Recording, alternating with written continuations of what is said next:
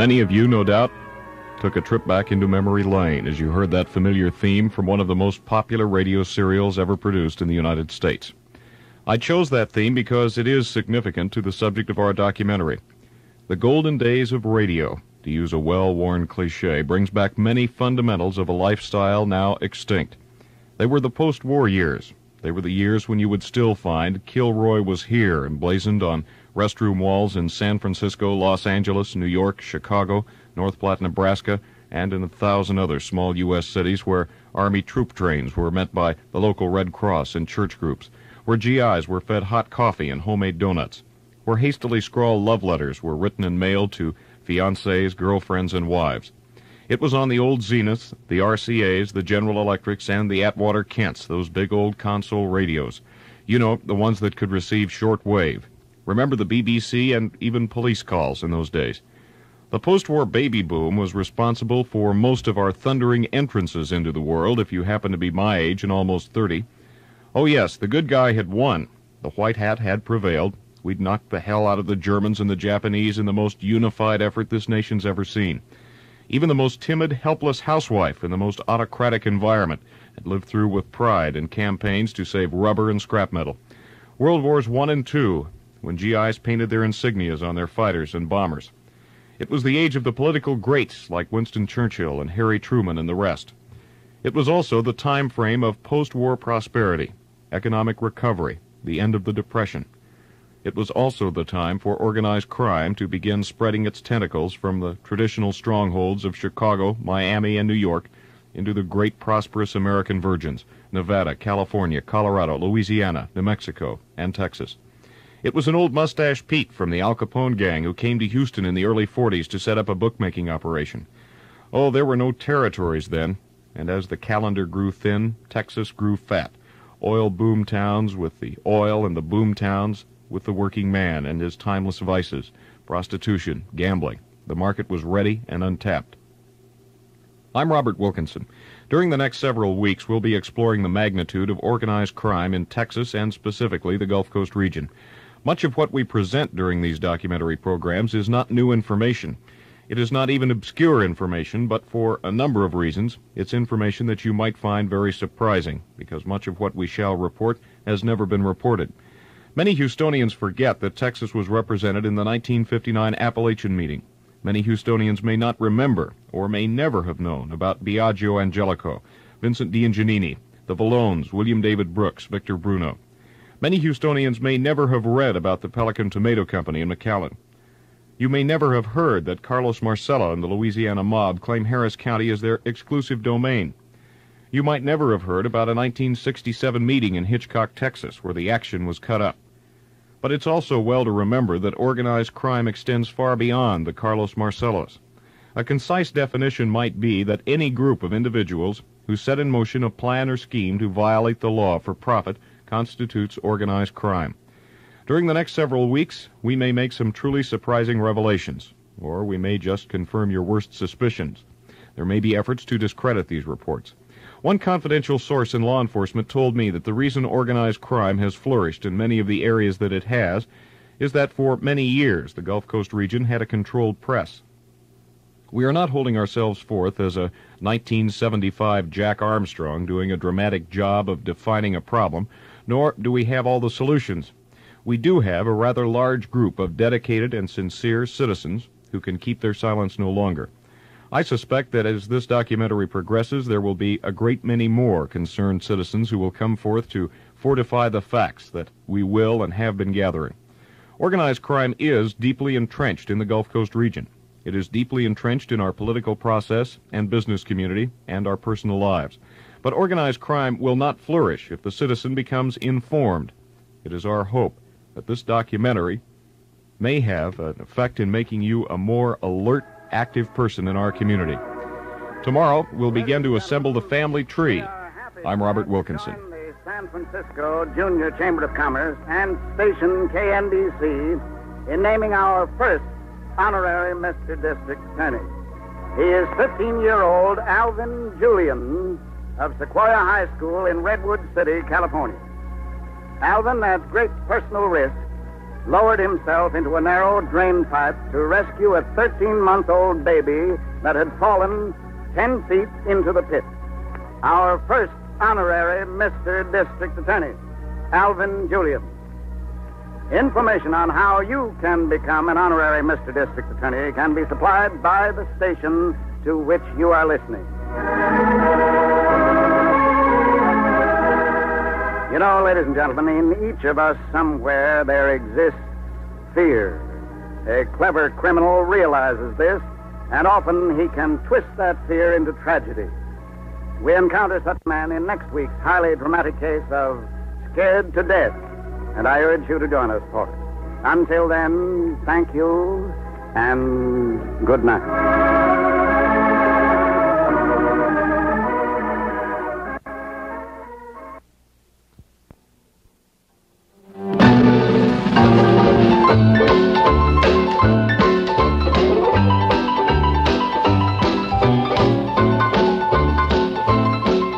Was Prohibition, but a sea captain named Johnny Jack was making sure that bootleg whiskey flowed in Galveston anyway.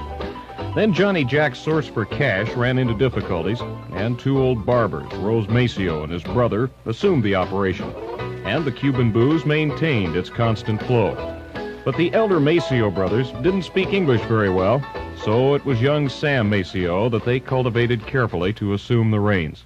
And the operation grew, and grew, and grew, until gambling was going full speed ahead in Galveston County. It was the beginning of places like the Holiday Casino, the Turf Grill, the Studio Lounge, and the infamous Balinese Room. It was when Murdoch Pier was wall-to-wall slot machines.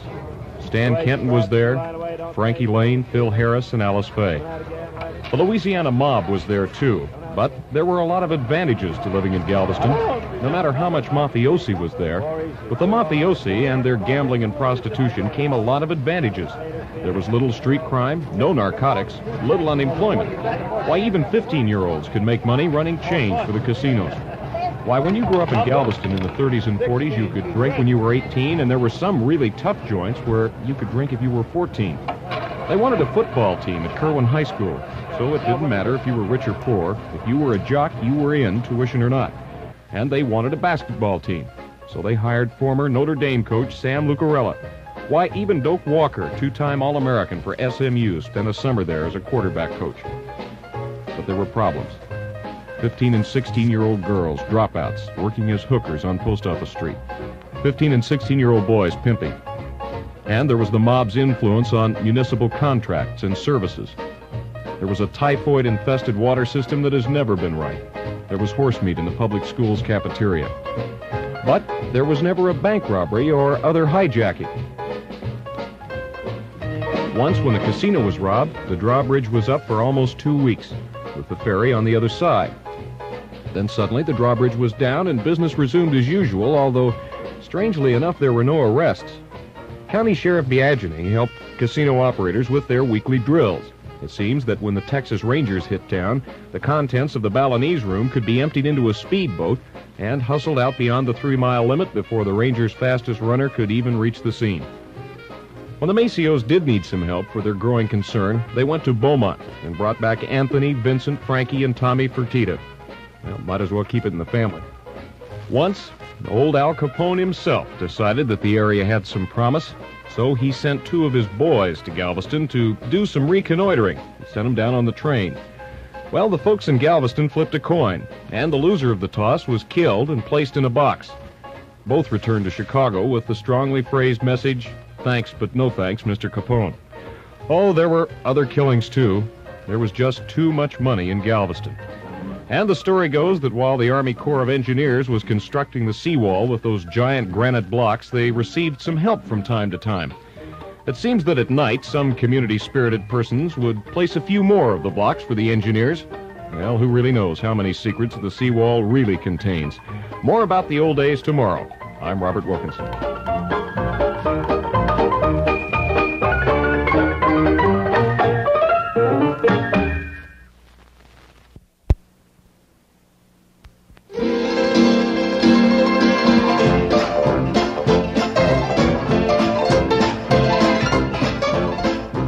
Things began to grind to a halt rather quickly in Galveston when the infamous Kefauver investigations began.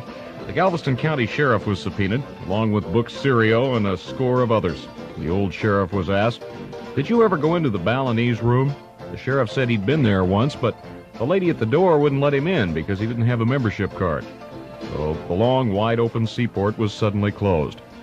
The characters didn't bat an eye. Sam Maceo had become bosom buddies of a lot of stars in Hollywood. In fact, Alice Faye and Phil Harris were married in Galveston, and Maceo was the best man.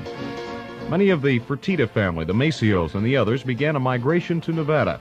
They went there with their money, and they went there with their skills to a growing Las Vegas that would soon put every other effort at organized entertainment to shame.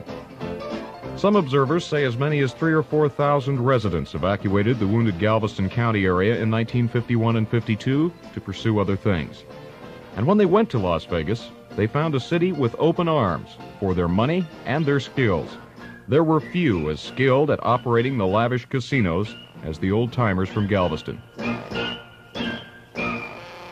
Joe Fertitta is at the MGM Grand today. Franka Fertitta is at the Sands.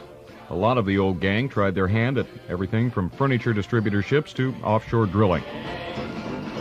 But another thing had happened in the Gulf Coast. The ties had been made with the Louisiana group. The old families had managed to successfully ward off the invasion attempts by Detroit, Chicago, New York, and Miami.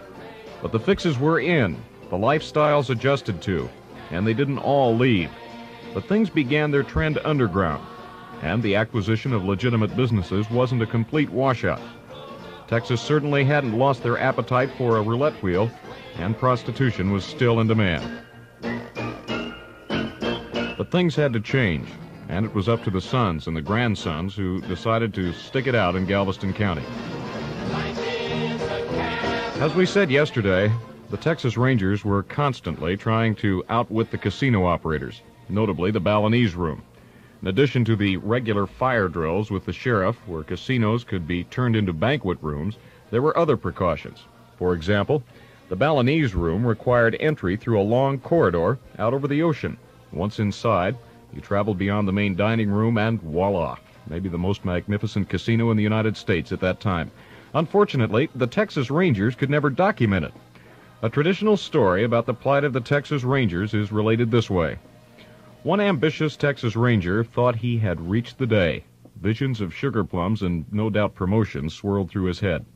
He'd made a confirmed reservation. He looked as though the tuxedo had been sewn around his muscular framed form. He traveled through that long tunnel and was admitted to the dining room where he enjoyed a drink. And the expected magnificence of the Balinese chef was no disappointment. His heart pounding under his shiny star, he strolled back to the mysterious door, where perhaps the biggest gambling case in Texas history was about to unfold under his direction. After a deep breath, he opened the door and entered a crowded room with people, but void of any gambling equipment. Suddenly, a spotlight illuminated the tuxedo adorned Ranger, and the band played The Eyes of Texas Are Upon You. I'm Robert Wilkinson. Tomorrow, we'll examine some of Houston's skeletons.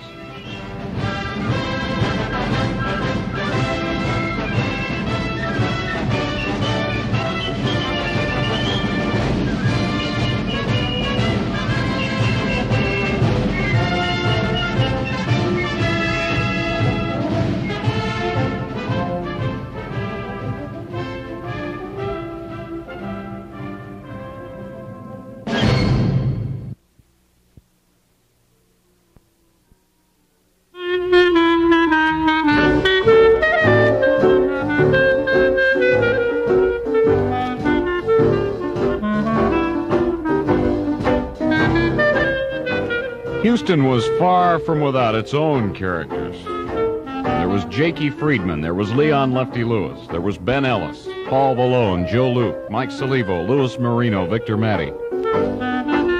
There were numerous houses of prostitution scattered throughout Houston. There were guarded casinos scattered around the city with assorted kinds of gambling activities ready, but nothing like Galveston's Balinese Room. Nevertheless, there were some spectacular places in Houston in those days, like the old Paramount Club, operated by Ben Ellis. One Houston observer of the times, almost 80 now, recalls the gangland style slayings of Balone and Salivo. Although few probably really know what provoked the killing, some sources say that those two might have been involved in some drug trafficking and that that involvement might have offended the other gamblers, bootleggers, and pimps. Sort of a modified Western justice. Although there was some good booze around, some a la Johnny Jack and the Maceos, there was also an awful lot of bathtub booze. Alcohol diluted with water with color and flavor mixed who knows where. But there was also some good stuff available from a Greek named Paul Monicus. But the Greek had a bad habit of draining things off just a little before he made his deliveries, thus gaining an extra bottle per case. Joe Lucia was around in those days too, and so were the Catbirds. The Catbirds were the light players.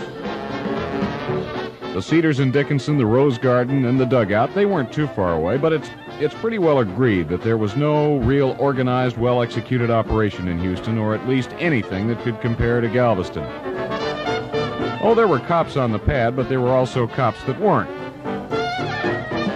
And the rough going of the 50s that devastated Galveston hit the Houston boys too, and some took on the same course of action that many Galveston characters did a migration to Nevada.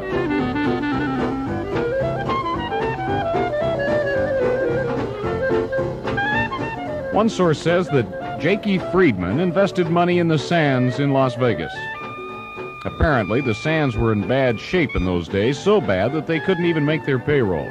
And again, gambling wise Texans were welcomed with open arms. The Detroit Purple Gang, the mobs of New York and Chicago, somehow really never got a stronghold in Houston, according to most observers, and some say this is because of some very heavy political dealing way back when. At any rate, new sheriffs, constables, and police chiefs tried their hand at gang busting, and although some payoffs did continue and some games popped up, the heyday was over, at least in comparison to the 20s, the 30s, and the 40s. But what about the legendary January 1968 meeting in that old two story house in Alta Loma, where E.B. Taylor, J.B. Klein, Vincent Gina, Louis Marino, Victor Mattei, Joseph Leonetti, also known as Vincent D'Ingianini, and Carlos Marcello met to split up the spoils. We'll move into the 60s and 70s tomorrow. I'm Robert Wilkinson.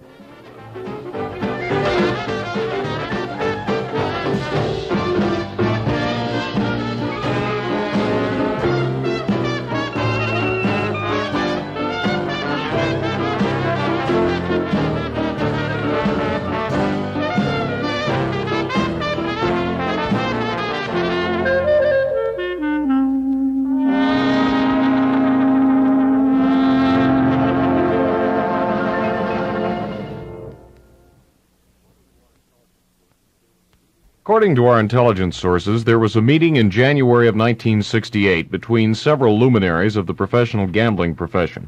That meeting was held in an old two story white frame house in Alta Loma, Texas, near Hitchcock. The house was owned by a Big Springs, Arkansas man who was also known to bet a dollar now and then. Sources say that J.B. Klein, the Galveston sheriff, E.B. Taylor, a deputy sheriff at one time for Klein, Vincent Gina, Louis Marino, Victor Mattei, Joseph Leonetti, who it turns out was really Vincent D'Ingianini, and the infamous Carlos Marcello were all in attendance. Our intelligence sources say that the purpose of that meeting was to make an equitable division of the Gulf Coast area's organized gambling enterprises. Carlos Marcellos is probably the closest thing to a reputed mafia chieftain that Texas has ever seen. His holdings are, of course, to a great extent unknown even to police intelligence agents, but it is known that he has had his hands in a Houston area motel, the White House, and some other real estate transaction. He has also had holdings or interest in the Pelican Tomato Company, which has a location in McAllen, Texas. Marcellus has reportedly sold it, but occasionally uses it as his official place of employment. In the 60s, Marcellus and one of his comrades, Joseph Matassa, of Pelican tomato fame, were indicted for bribing a witness in another case where Carlos was charged with fraud. He was accused of falsifying a Guatemalan birth certificate to avoid deportation to Sicily. Carlos has been charged by some intelligence sources with using the Pelican Tomato Company as a front for a large scale heroin smuggling ring. Aaron Kohn, director of the Metropolitan Crime Commission in New Orleans, says there may be some evidence to support that allegation. Some of the supporting evidence, according to Kohn, relates to an old marijuana smuggling charge involving Carlos. Well, there is some evidence to support that um, because people who, as a matter of actual documentation, and incidentally, what you are saying has been publicly disclosed here in this area. Uh, a, key figure in the marijuana traffic was very definitely a part of the Pelican Tomato Company operations. And uh, Pelican Tomato, as you know, has been the target of official action by your Texas Attorney General's office in connection with their operation out of McAllen, Texas. Now, Pelican Tomato Company, uh, by Carlos Marcello's own admission before a federal legislative committee in 1972, uh, that was the Select Committee on Crime of the U.S. House of Representatives. At that time, when he was asked what his employment was, he said he was a salesman for Pelican Tomato Company. Uh, the fact is, he was deriving the same income from Pelican Tomato Company each year as were the people identified as its officers, including that man I mentioned to you before, Joe Matassa, who had been his co-defendant in that bribery case. Um, and incidentally, the evidence in the evidence presented in the trial of Carlos Marcello and Joseph Matassa indicated that money from the Pelican Tomato Company had been used to pay off the juror, who incidentally took the witness stand and uh, and testified to the uh, bribery process. More about Carlos Marcello tomorrow. I'm Robert Wilkinson.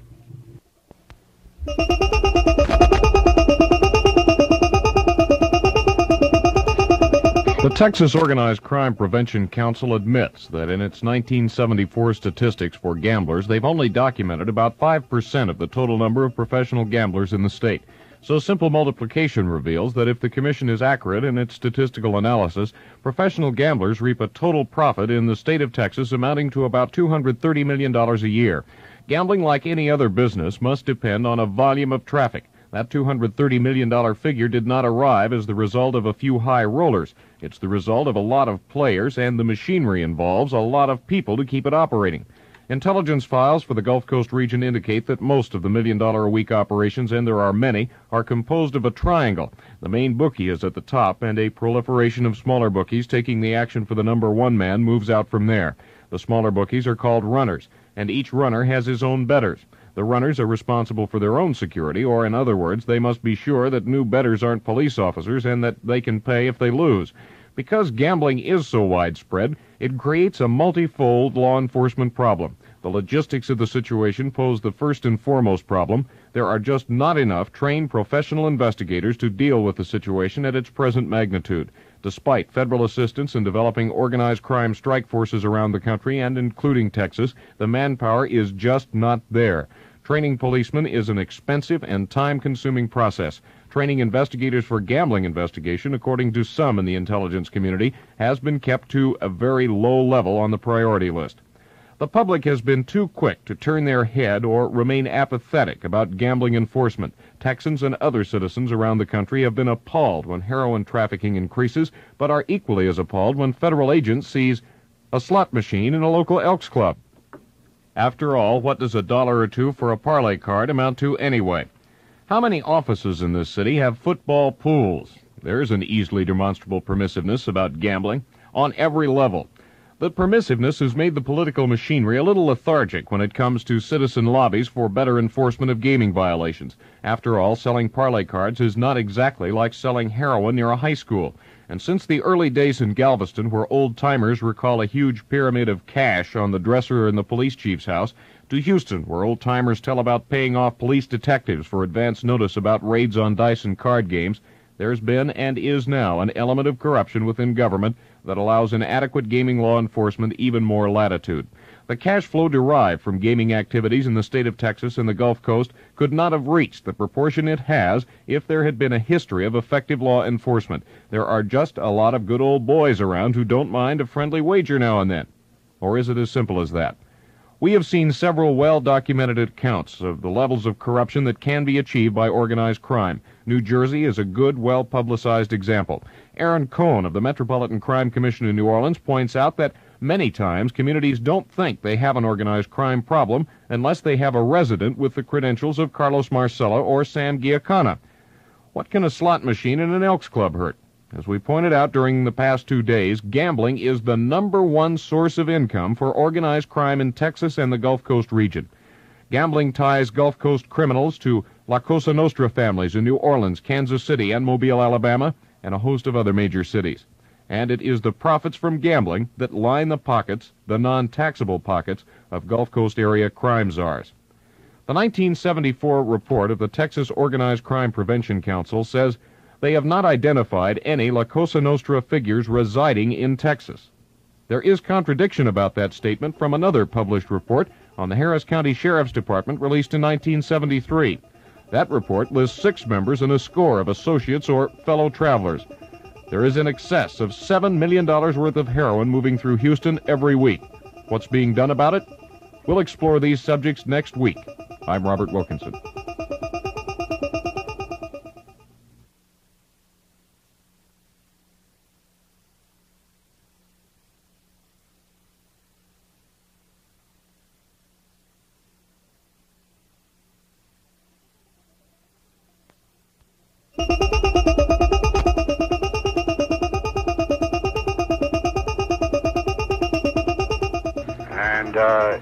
His organization, he, unlike many other similar figures in other parts of the country, he has immediate members of his own family who are very active uh, at the core of their operations, including uh, five brothers and, uh, and a son and a son-in-law and so on. And there's no question but that there is direct contact between the inner core of the Marcello organization and people in Dallas, in Houston, uh, uh, in Laredo, Texas, uh, all down through that part of the country. Aaron Kohn is the director of the Metropolitan Crime Commission in New Orleans and a close observer of the activities and movements of Carlos Marcello. Closer perhaps than any Texas intelligence agencies to Marcello's activities. Kohn comments on Marcello's Texas activities. In the main, what we hear about the Marcello tentacles over in Texas today, it largely has to do with uh, what is the trend of organized crime all across the country. Uh, they're moving more and more into, and very, very smart too, into the more stable kinds of investment, which means land and property. And they're working through lawyers and good uh, management counselors and so on. They've been permitted over the years to accumulate vast dollar resources through the tolerated uh, uh, added attitudes in a lot of communities about gambling and about prostitution and about illicit bar operations and and so on. So uh, over the years, with uh, the public as their patrons and with public attitudes uh, accepting the idea of uh, inaction by the law enforcement uh, people against their vice and gambling operations, they've amassed tremendous wealth. Carlos Marcello, when he was released from Atlanta Penitentiary about 1940, uh, was established to the satisfaction of the federal government that he was a pauper. Uh, in, addition to his prison sentence uh, as the marijuana wholesaler, he had been, uh, since the law he violated had to do with the federal narcotics law, which is a tax law. Uh, it's a part of the was a part of the Treasury Department tax respons- collection responsibilities, and uh, they imposed penalties. The court did of about seventy-five thousand dollars for unpaid taxes on the marijuana he sold, and for other penalties. And uh, when he was released from Atlanta Penitentiary, uh, he didn't pay his uh, $75,000 plus penalties, but on a pauper's plea was able to settle it for $400. Now that was about 1940. He's probably one of the wealthiest men in Louisiana today, mainly through the gambling and vice operations that uh, uh, he increasingly became boss of after he came out of Atlanta Penitentiary. All through the 40s and the 50s, and, uh, up until oh, about 1964, I would say, 62 or 64. Uh, they were very openly involved in the operation of gambling casinos, uh, handbook operations, uh, wire service for bookies, including bookies over in Texas. They, uh, the Marcello mob uh, operated what was called Nola News, which was a wire service that tied into the national mafia-controlled wire service on horse racing all over the nation. Uh, they controlled this region. They supplied uh, race results to bookies in Texas, and uh, in addition to Louisiana and Texas and Mississippi and Alabama and other adjoining states. The most tragic thing of all may be that Harris County has no well funded, articulate organization to act as a watchdog against organized crime's further proliferation. A total and complete list of the real estate holdings of Carlos Marcello is not available. Who knows how far he has gone? I'm Robert Wilkinson.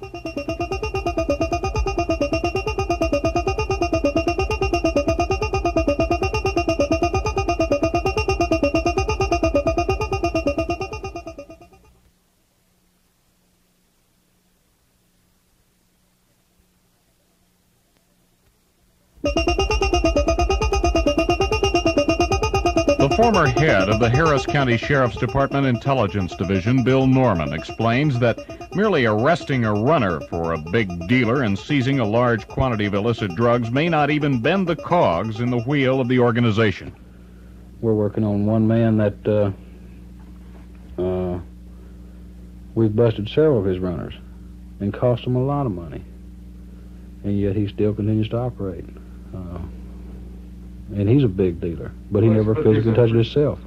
The problem remains no matter how many runners are arrested, making cases on the ringleaders and the financiers who will never touch the illicit drugs and never be charged with possession of the drugs remains a major dilemma. It's going to be, they're never ever going to actually make a possession case, but it'll be through conspiracy charges, uh, getting an undercover agents in and, and uh, allowing them to stay there long enough to elevate themselves to the echelons where they can give us information.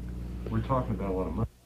Keeping a man undercover costs a lot of money, and there's a lot of money involved in the illicit drug trade. So, how does government ensure that the undercover agent himself won't become corrupt?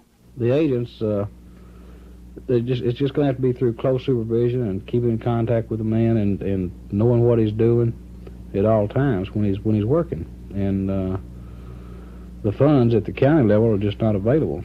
But uh, through uh, cooperation with the DEA and some other and the state, uh, we've gotten funds and have been able to work ourselves up in some of these groups. And uh, it just takes time. That's all it is. Funds aren't really that great. Just the well, just the mere cost of a man working on the street like that, who is working in an organization, could take anywhere from 30 days to a year. And uh, so you've got one man that's worked for this period of time that really hasn't made but just this one case when it is made, if it is made. The city of Austin has decriminalized marijuana violations. There was a candidate for the Houston City Council who ran on a marijuana ticket. Lawmakers are pressed daily to remove the legal stigma of possession of grass. There was an overreaction in the 60s when the flower children blossomed everywhere in Haight-Ashbury streets in San Francisco and North Platte, Nebraska. Art Linkletter's daughter flew from the plush room of a Los Angeles hotel to her death on a bad LSD trip. Everyone from the Junior Chamber of Commerce to the Elks Lodge began underwriting drug education programs. Now, some decriminalization experts say the days of LSD and hard drug usage is over. The drug subculture is dead. Bill Norman doesn't think so. I think that there was a great reaction to it in the 60s, and, and uh, I think the reason there's not now is because it's been on television, movies, paper, funny books, everything you can imagine that uh, uh, the people don't respond to it like they used to. The problem's bigger now than it ever was, in my opinion, and uh, the dope is more plentiful. Uh, you can get it anywhere, and there's numerous amount of dealers in this in this particular area, and uh, an example is I've taken a, a brand new man, and DEA has experienced this, and put him on the street. And a few hours, he comes back in with a gram of heroin, an absolute unknown. And it's just so plentiful. There's still some abuse of LSD, downers, and speed, and although Norman says there is more effort directed toward heroin abuse, the other dealers are pursued as well. Still, the kids still experimenting with them some, and uh, there is an area that uh, participate in the barbiturate, amphetamine, LSD uh, categories, but I guess I've placed uh, emphasis mostly on the heroin dealers because of uh, how it grabs somebody and just holds them. There's just no release for them. And uh, where I've seen people get away from the uh, the pills and the, the uppers and the downers and the speed and the acid, they can get away from it. Uh, don't misunderstand me. We go after them. We busted uh, one man with 43,000 tabs of uh, LSD not too long ago, about eight months ago. And uh, we don't ever ignore anybody, especially a pusher, no matter what he's pushing. But the concentration has been on the heroin traffic. Uh, the percentage is greater. It motivates people to do more wrong to get it. Uh, that's just been uh, where we've concentrated our efforts. Many social observers feel that decriminalization is healthy. Bill Norman doesn't agree. Norman poses the question that's been raised many times before. Alcohol has a poor track record. If we legalize marijuana, what will be the next national drug? And the link between heroin addiction and other criminal acts remains a major problem. The heroin addict must still find a way to support the ever growing habit. With a high addiction rate, a high peripheral crime rate has been documented in the Gulf Coast region. Well, from the experience that we've had, and the reason uh, when I got into uh, this division, the primary idea was to work both sides of the snitch with reference to, uh, or the informant, with reference to uh, what are they stealing to supply this habit. And uh, I, I think you could attribute about 80% at least to uh, cover a habit of some kind, of narcotics habit. All the illicit heroin and a majority of cocaine and other drugs of abuse come through the Mexican border. The United States Customs officers are among those who are responsible for policing the USA's entry points. A discussion of the Customs Agency's role tomorrow. I'm Robert Wilkinson.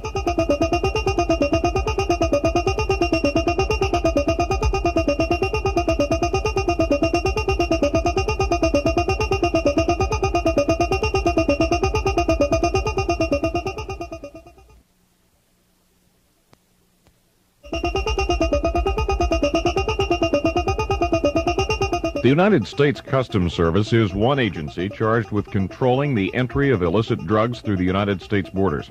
The problem of corruption of agents working with the valuable contraband is dealt with swiftly by a separate internal investigations division. Customs has had some problems in Texas with resale of seized drugs. Acting Regional Commissioner Shelby White explains how some of the safeguards work. First of all, pretty strict forms and uh, control of the narcotics when the seizure is made. Uh, in addition, we, the Customs Service, has uh, our investigative branch, which is called our custom agents. We have our security and audit branch, which does nothing but police uh, internal custom matters. And one of them is the handling of narcotics. Is it properly documented? Uh, is there a proper chain of command from the seizing officer to the district director to his custodian who maintains it in a locked vault until the case is tried in court and properly disposed of? And uh, we have these uh, periodic Uh, I'm sure you're aware of the uh, grand jury hearing in uh, El Paso, um, which is that very thing. Um, there was uh, an in- innuendo that seizures had been improperly handled. And we did our own policing of our own organization. We got right in there and found out. And found that it was not improper handling of the seizures themselves. It was uh, an outside force. Despite the use of advanced electronic tracking and location devices, much of the success in stopping drug trafficking across the Mexican border still depends on the skill of the individual customs agent. Intuition and experience play a major role. The customs agency has been accused of harassing younger long haired persons in border checks. White says there really is no established profile, explaining that it changes regularly. Today, I don't know that we have uh, found narcotics on an individual of that particular uh, profile, oh, in over a year, I guess. Right at the moment, it is uh, the profile is the young gentleman right here, nicely dressed, uh, in a nice automobile, not an old beat up automobile, in a nice automobile uh, with the appearance of a well to do gentleman, and he is. Um, we run into all kinds. Uh, sometimes I think I'll just forget about profiles. I'll just have to do the best I can because we have caught a camper with a man, wife, three small children. And you'd think, well, man, this doesn't fit in the profile we get. Only to find his camper is completely filled all the way around uh, the top sides, just stuff full of marijuana. Um, find uh, people dressed as clergymen. Uh, I don't know that we've ever gone far enough to prove, disprove his uh, religious attributes, but we found uh, clergymen dressed as clergymen who are carrying loads of narcotics. Acting Regional Commissioner of the Treasury Department's Customs Service in Houston, Shelby White. More about the effectiveness of law enforcement in handling drug traffic tomorrow. I'm Robert Wilkinson.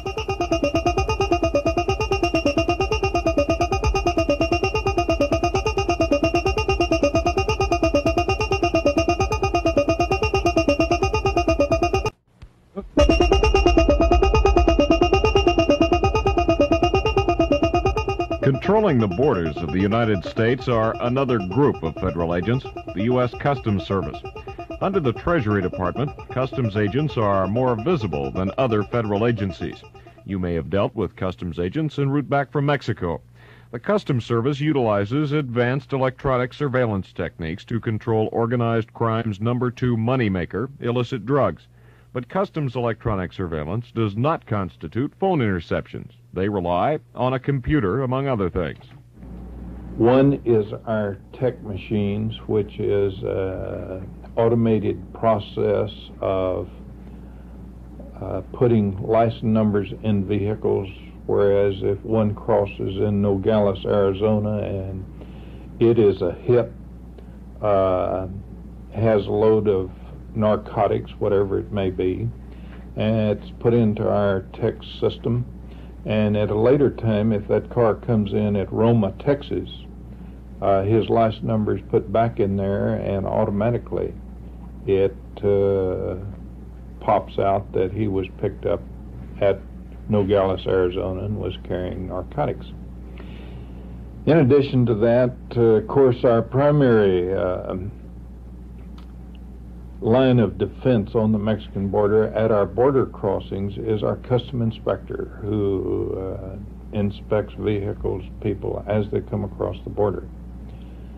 Between the border crossings, we have our custom patrol who uh, patrol, secure information from whatever source they can to find any illegal crossings of narcotics between our ports of entry. That was Shelby White, acting regional commissioner for the United States Customs Service. Customs agents also employ airplanes to counteract the use of private airplanes for smuggling. Aircraft continue to be a major problem, but White explains how Customs deals with that situation.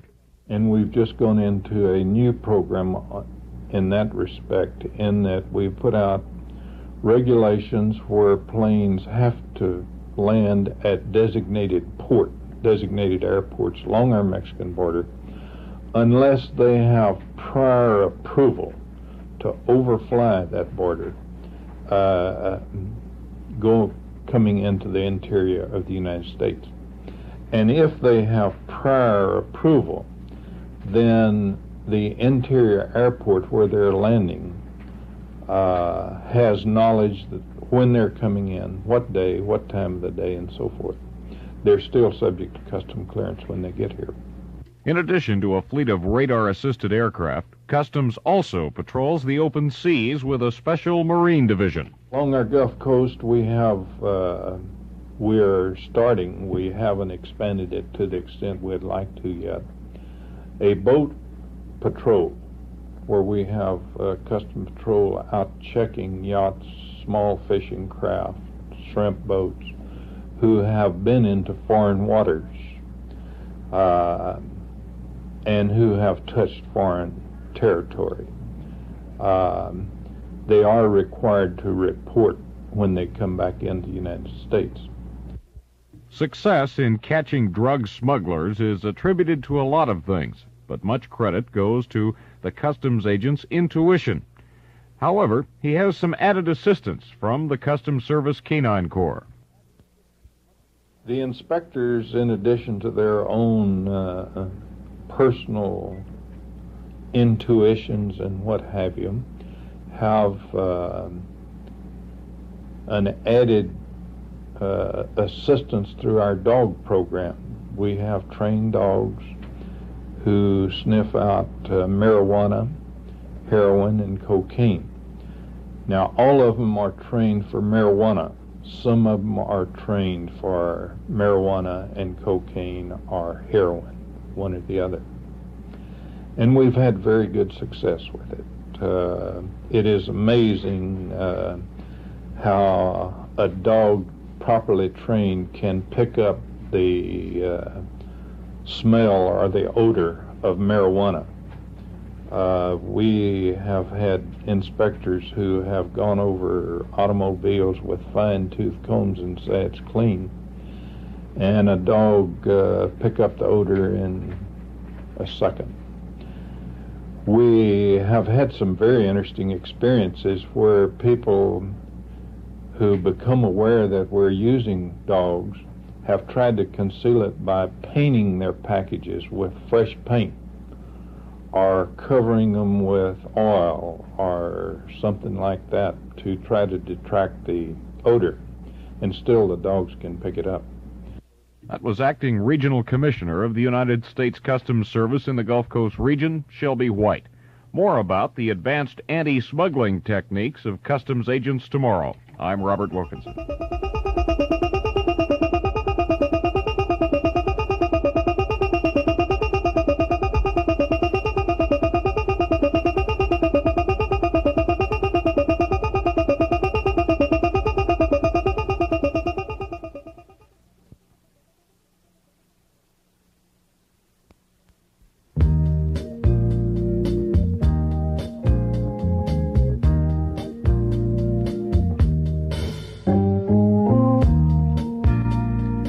Sociologists would have you believe that prostitution is a victimless crime, an act involving two consenting adults, regardless of the cash exchange. Although we've not been successful in finding a call girl with direct knowledge, intelligence sources close to organized crime say there is a highly organized ring of women working a tri state area, that these women are under the direct control, guidance, and supervision of known La Cosa Nostra figures. A report issued by the Texas Organized Crime Prevention Council identifies a ring of prostitutes working from Corpus Christi and into Austin, Houston, LaGrange, and San Antonio. If these estimates from informed sources are correct, then part of the average $1,500 per week salary of the average Texas call girl is going back into these organizations. Severe psychological problems and hard drug use are familiar friends to many working girls who have their own theories. Some theories are self serving, and perhaps some are very accurate. But perhaps the decline of the traditional madam or body house operator can be attributed to the wisdom of womanhood, or at least Mary thinks so. There are, you know, there are too many ways to get around it. Okay, you know, you say that I'm working for a pimp, which I'm not. I'm, you know, individually on my own. And working for a pimp, uh, he gets a percentage off the top. Okay, say if he was to set me up with uh, someone for, say, a hundred, then he gets, you know, fifty. So that cuts it in half. What I do uh, is I would go to the individual which I was with and say, listen, I'm going to give you my phone number. And if he, you know, if he likes my action enough, he'll come back. And he won't go through that. Because, see, he could get me for 50 that way and not pay the other 50 which the pimp would get. So you start him off at 50, and like I said, you don't give them their money's worth. You make them come back, and then you work them back up to the 100. The characterization of prostitution as an art form by Xaviera Hollander may have contributed somewhat to the public affection for the ladies of the evening, but most of the women in the business in Houston that I interviewed seem to feel that prostitution is a business necessity, something like Dun & Bradstreet. Some even have some pretty good stories about overnight business successes, although none of them sound anything like a recommendation from the Better Business Bureau. But Mary has her own ideas about her success. You never let them have enough. They never get their money's worth. I'm Robert Wilkinson.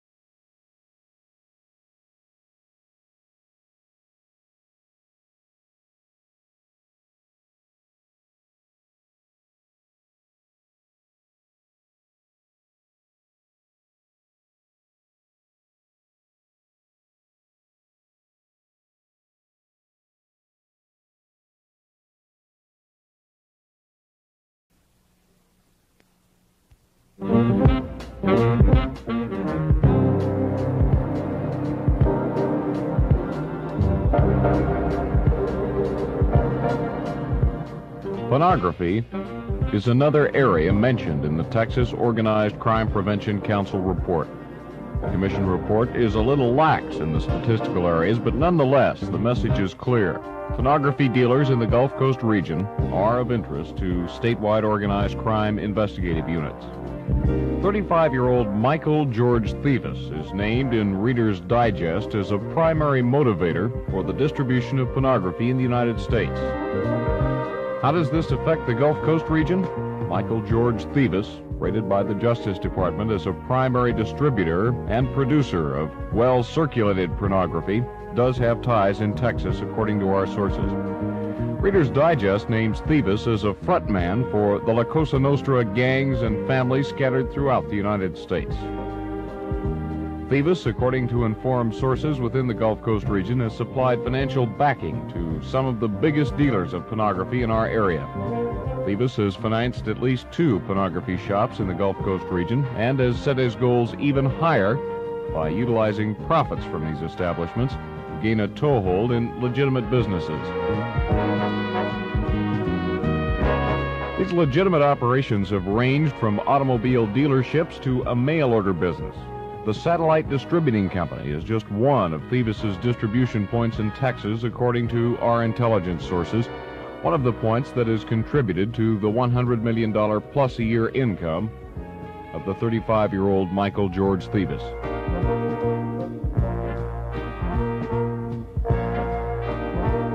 Thevis has admitted proudly that his money came from pornography, although having been called down at least once for exaggerating his holdings. DVD and Bernito, New Jersey, reportedly, reminded Thevis of the family's involvement in the pornography business at a recent Las Vegas connection of pornography dealers. Not that Houston area pornography dealers need any help.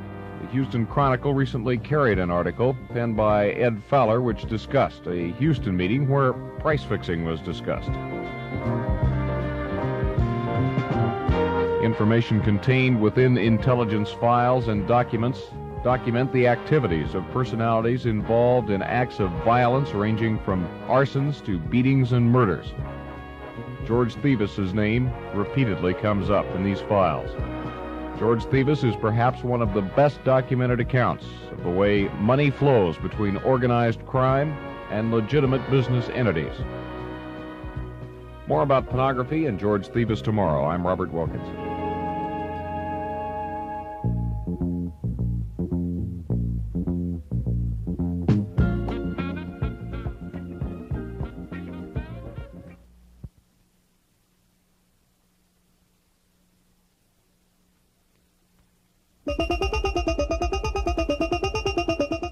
As we have discussed in earlier reports, narcotics is probably the most serious of all organized crime problems in the Gulf Coast region. And it becomes more serious not only because of the profit gleaned from drug trafficking, but because of the peripheral crimes that go hand in hand with the drug abuse problem. One way of killing two birds with one stone is to utilize the informants working on narcotics cases to help make burglary cases as well. Well, the snitch also can tell you about uh, the thieves, uh, a lot of the places where they dispose of their stolen property so they can gain the funds to buy the narcotics they use. That was former head of the Harris County Sheriff's Department Intelligence Division, Bill Norman. In an interview prior to his resignation, Norman said it's very common to find stolen property when executing search warrants for various narcotics and other drugs. In their 1974 report, the Texas Organized Crime Prevention Council stated that 44 major fences had been identified in the Harris County area along with numerous businesses that were buying and selling stolen property. Working both sides of the informant has proved successful. Well, we've had some success. We've uh, uh, worked on uh, a fence named Frenchy Fontenot with the city of Houston. Uh, one named David Louie, who lives who lives in the county and operates in the county, and uh, several others uh, large, they're large fences also. Uh, the cases haven't been disposed of at this time, and uh, I really hate to get into the the fundamentals of it, but uh, there are a large number of fences, big fences in Harris County.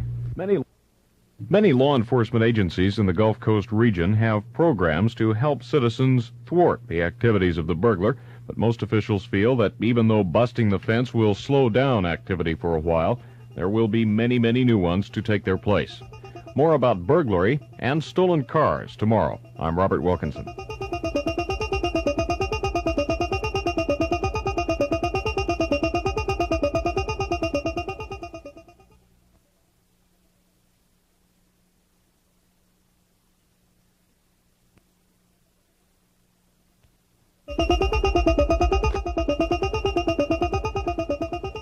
Their 1974 report, the Texas Organized Crime Prevention Council reported that bookmaking on professional and collegiate sporting events such as football and baseball remains the largest source of income for Texas organized criminals.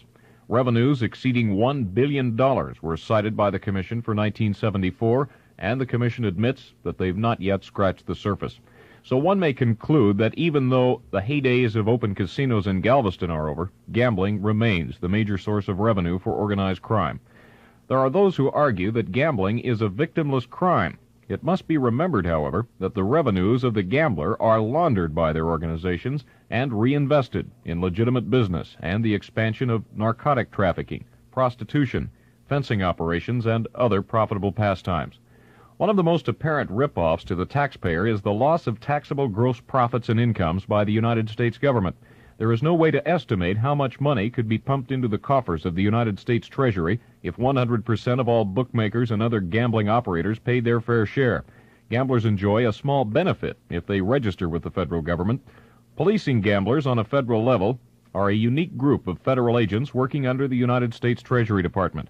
They are the special agents of the Alcohol, Tobacco, and Firearms Division. The Gulf Coast resident agent in Houston, W.M. Rocky Rothgeb, says that ATF has been investigating gaming activities since December of 1974. Rothgeb discussed ATF's role and the benefits of a federal license if you're a bookmaker. Houston office, which is primarily responsible for the Gulf Coast region, uh, at this point we're concentrating our efforts in the major metropolitan areas such as Houston, Galveston, uh, Beaumont, Port Arthur uh, areas. Now, when, when we're talking about this, we're talking about organized crime. Is that would that be a fair statement? Uh, in a literal sense, uh, I think that's appropriate because gambling basically is is an organized structure.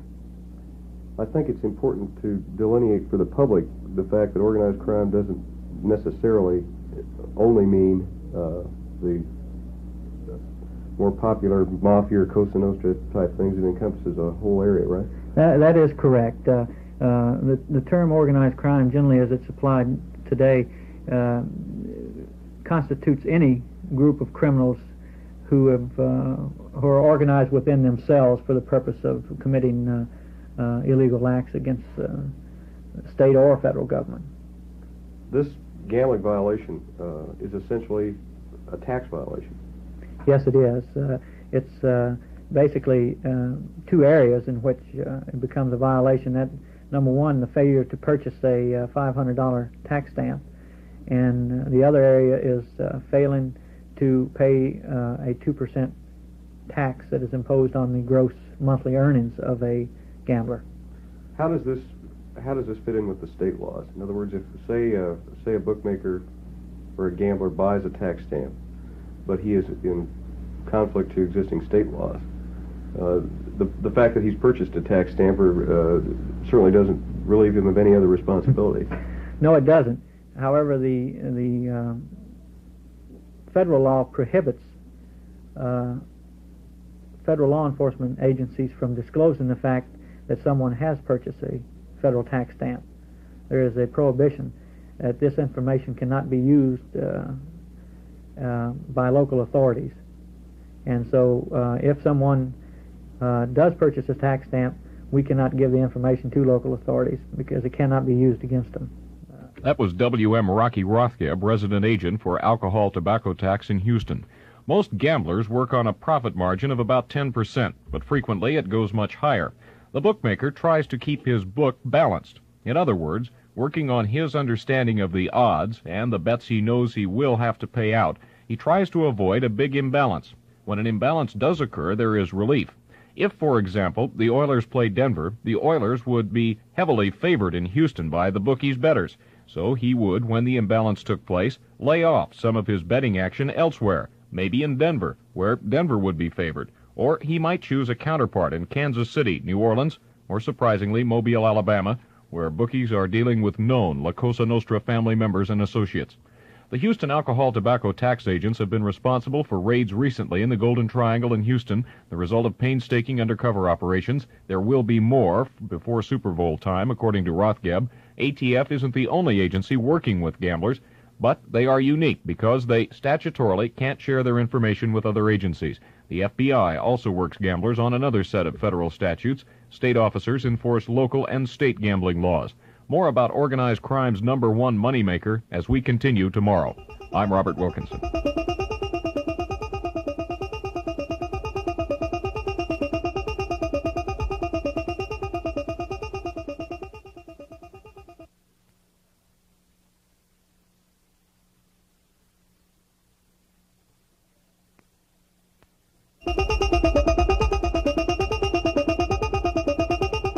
Past few weeks, we've attempted to detail for you a rough outline of the extent of organized crime in the Gulf Coast area.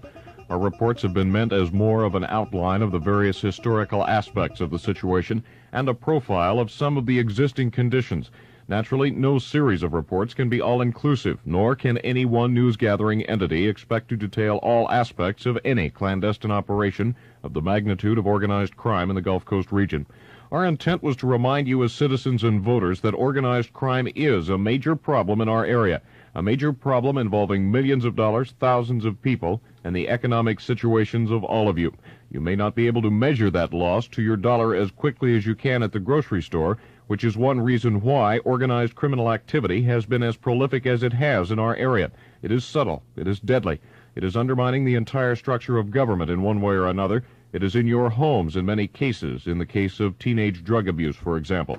It is clear that we need more dollars and resources directed at the State Attorney General's organized crime strike force.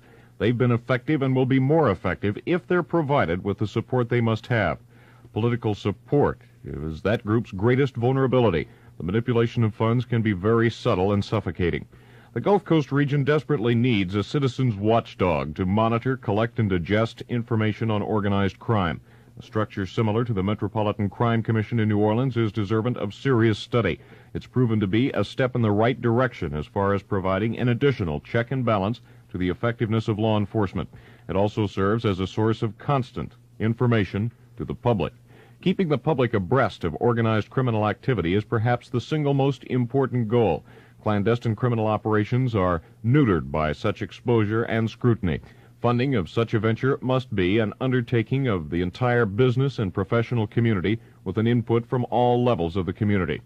In coming weeks, our news staff will be focusing its attention to very pressing matters requiring investigative reporting. Much of the information we will be examining has been the direct result of your participation as this series has progressed. The United States Attorney's Office and a federal grand jury will begin in December to examine the credibility of law enforcement in Harris County with special attention to allegations of wiretapping and other allegations of invasions of constitutional rights by law enforcement officers. Our staff is currently involved in the investigation of a number of allegations of misconduct against officers and prosecutors, ranging from physical abuse of prisoners to violations of state narcotic laws. We will continue our probes of organized crimes involvement in legitimate business. Our probe of illegal and unethical business practices will continue, but not only in areas dealing with petroleum exploration investments. Many other allegations have been brought to our staff that affect the average consumer much more directly. In short, thank you for your support and interest in our series on organized crime. We're only beginning, and we hope that this series has been a factor in stimulating an increased awareness in organized crime in the Houston and Gulf Coast region. I'm Robert Wilkinson.